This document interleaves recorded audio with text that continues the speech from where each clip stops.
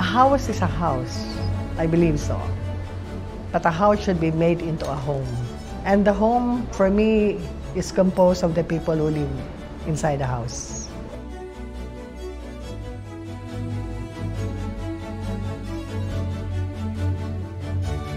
I think the pieces of furniture give life to the home.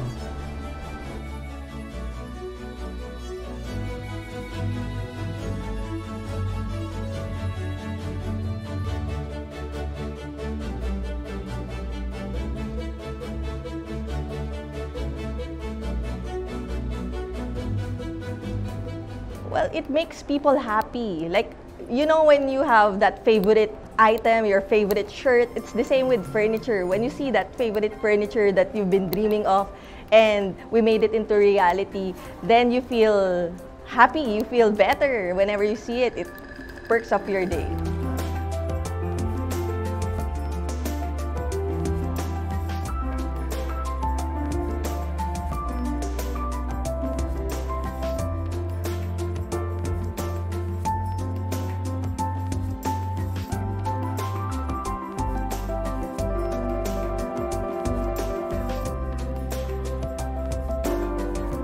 You choose to stay there because it gives you comfort. It gives you that warm, fuzzy feeling that, oh no, I'll just stay here. This is my spot.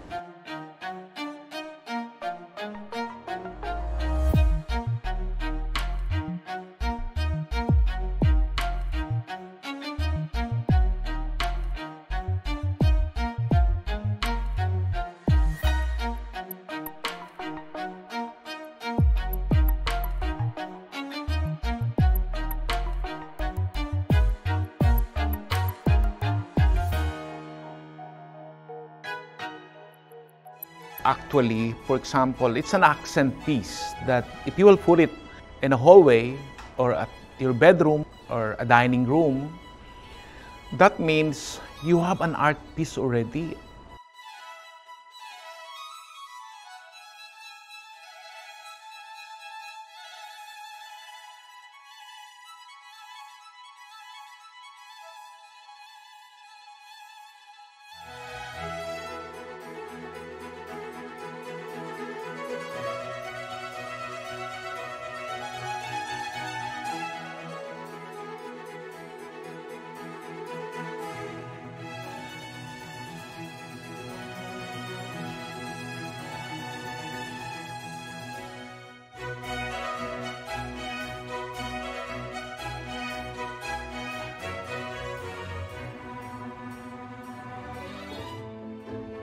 So a matter of uh, layouting uh, the right pieces in the right places and matching it with the right mood, the right tones. Bottom line, it's really the customer's decision, but we help.